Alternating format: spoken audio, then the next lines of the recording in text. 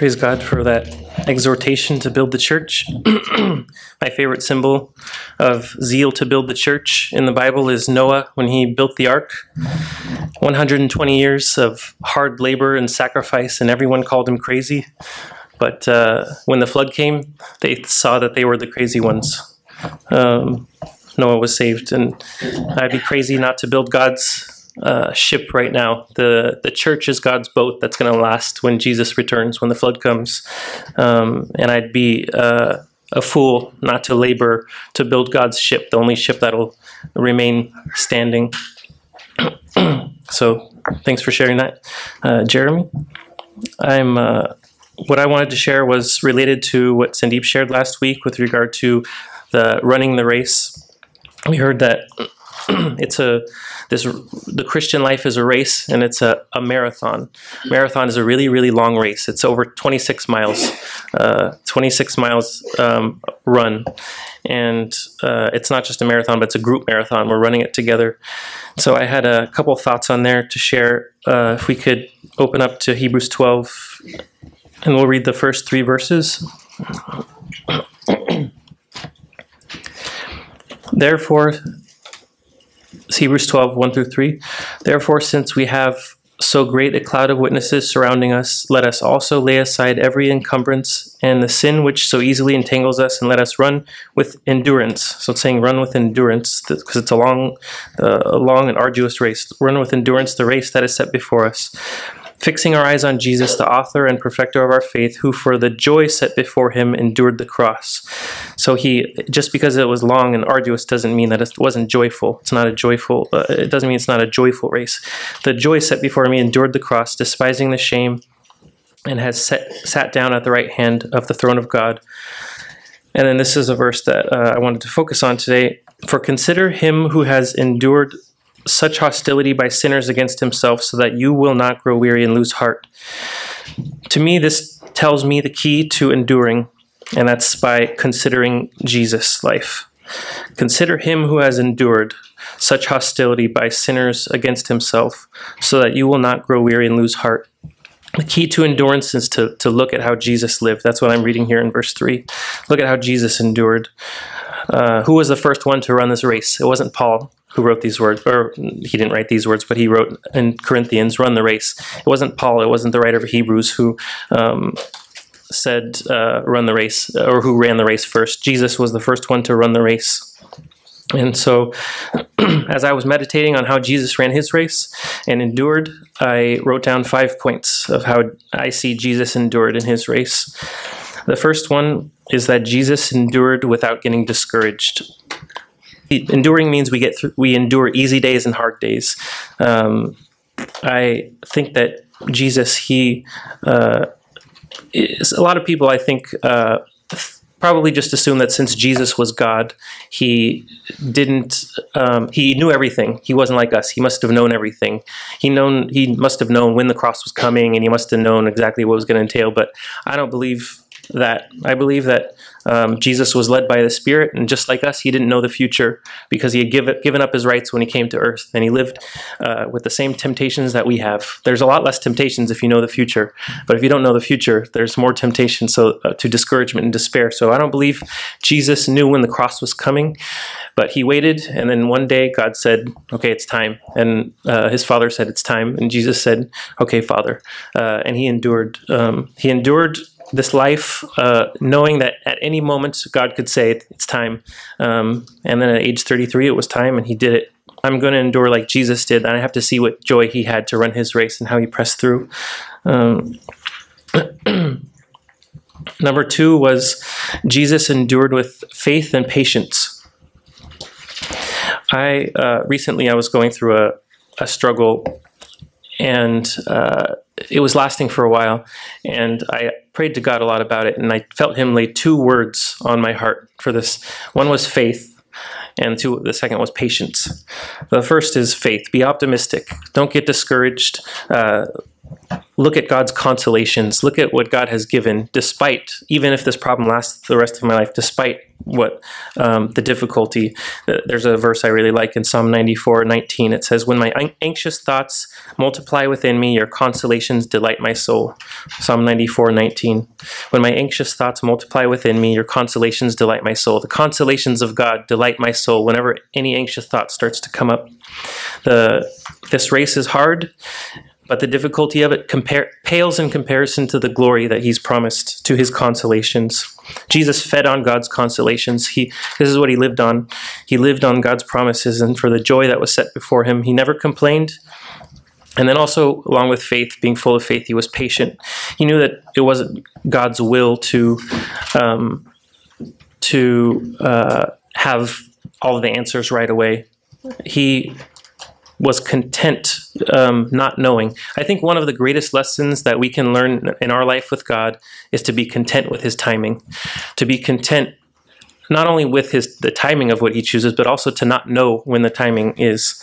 Um, I feel that that's one of the most valuable lessons um, that I can take from God. To be patient and patiently endure, uh, being content with his timing.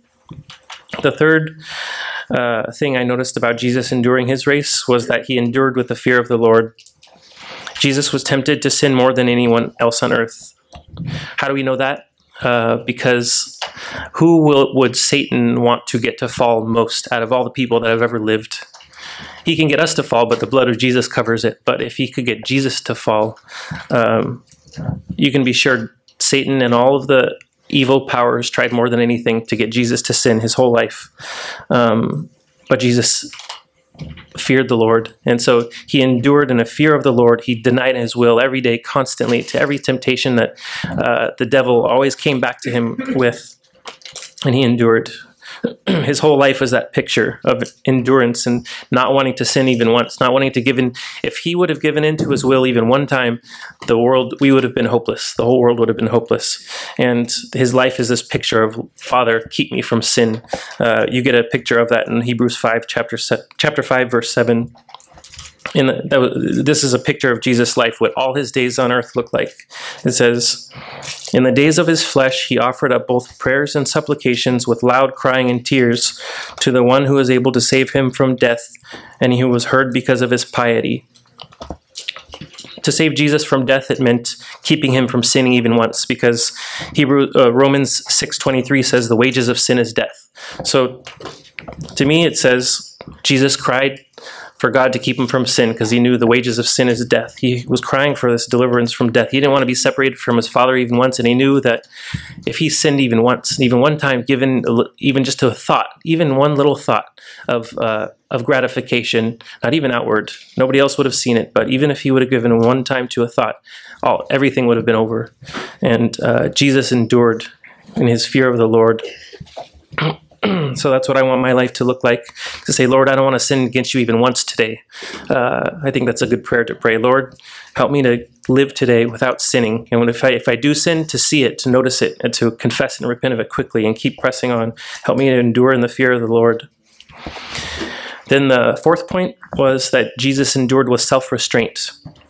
Uh, 1 Corinthians 9.25 says, Everyone who competes in the games exercises self control in all things. So it's saying if we're taking this race seriously, then we're going to exercise self control. Uh, it then goes on to say, they then do it to receive an, a perishable wreath, but we an imperishable. 1 Corinthians nine twenty five. The people who want to compete seriously exercise self control. There are many things that God's given us the freedom to do in this life. Uh, but there's a type of runner with an attitude that'll never get gold. Uh, I want to win the race, but I still just want to eat whatever I want. I want to do whatever I want with my free time. Uh, I don't feel like going to practice today. Um, there's a, a certain type of uh, self control that I need to get a hold of that exercises self restraint. I used to think that Christian discipline meant setting alarms on my phone so that I can do something at a certain time. But now I see Christian discipline is not about schedule; it's about self restraint. That's what discipline means: is uh, saying, "Yeah, I can I can eat this food, but I choose not to because it's better uh, for me. Uh, this donut looks really good, but it's not that um, we can never have the freedom, but it's that we have control. We have self control. It's a fruit of the Holy Spirit. We have a self control to say, this is not going to be profitable. This is not. This is going to be detrimental to my spiritual life. Let me hold back. Let me withhold back a little bit. Uh, Jesus, he enjoyed life, but he never overindulged. He drank wine, but he wasn't a drunk. Jesus ate good food, but he wasn't a glutton, and he often fasted. Uh, Jesus slept, but he wasn't a sluggard. He often woke up early and stayed up late to have time alone with his father. So Jesus, he was competing in the games and he had perfect self restraint. And he ran the race uh, hard and willing to, if he said, This is going to make me faster, he's like, I'll give it up easily. Um, so if I want to run the race, race uh, then I'll be like that and have a very easily breakable will. Uh, say, if this is going to be a hindrance to me, okay, fine, done, out. I'm not gonna, I'm not gonna um, mess with that if that's gonna ruin my spiritual life or hold me back at all. and then the last thing, the last point was, Jesus endured his race with joy. Going back to that verse, Hebrews 12, 2, fixing our eyes on Jesus, the author and perfecter of our faith, who for the joy set before him endured the cross, despising the shame I once heard somebody say, nothing can be done for an extended period of time if it's not done with joy. It can't be done well. You can do something for an extended period of time, but you can't do it well if it's not with joy. And I believe that's right.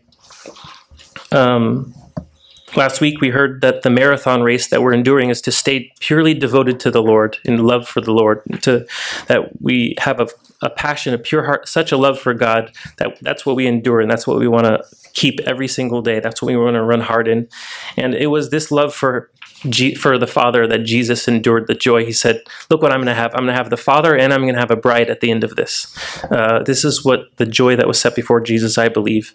Uh, I believe a great picture of that in the Bible is when Jacob worked for seven years to marry the love of his life. He had to back then. Um, he there was no dating, there was no asking, uh, why don't you marry me? There was, I guess, I don't know, understand the way it worked, but he had to ask the father, "Can I have your daughter?" And he said, "Sure, but pay me in labor." So he had to la- work for seven years, and it says in Genesis twenty nine twenty, so Jacob served seven years for Rachel, and they seemed to him but a few days because because of his love for her.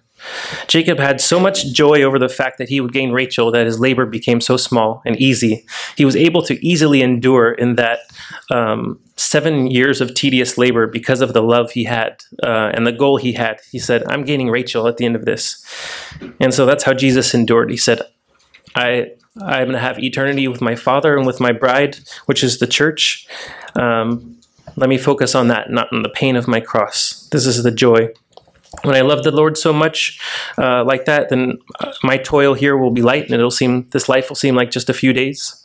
Uh, like Paul said, I count all things to be lost in view of surpassing value of knowing Christ Jesus my Lord, for whom I have suffered the loss of all things, and count them rubbish, so that I may gain Christ. Everything's nothing because I want Jesus. Um, we've recently heard that uh, the saying that I've really loved: "Jesus is my hero." So he's my hero too, and he's the example that I want to study and study. And we heard to be absorbed in these things. I want to absorb my heart in Jesus' life so I can live like he did.